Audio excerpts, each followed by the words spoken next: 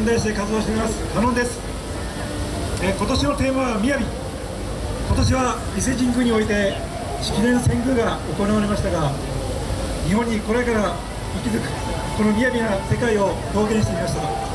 ご声援よろしくお願いいたします。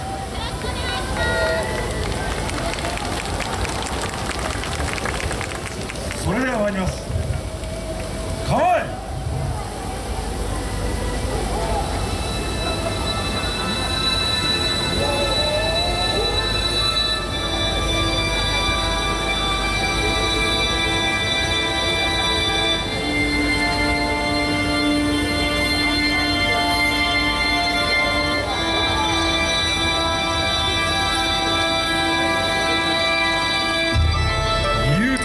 時を超え今ここに平安の栄華を奏でる。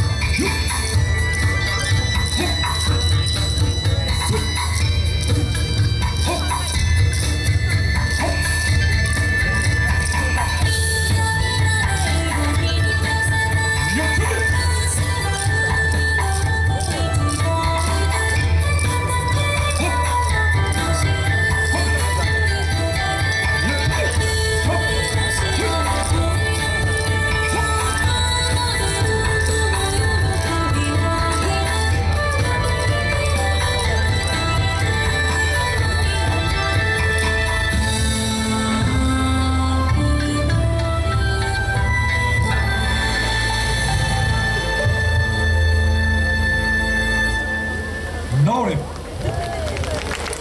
ご声援ありがとうございました。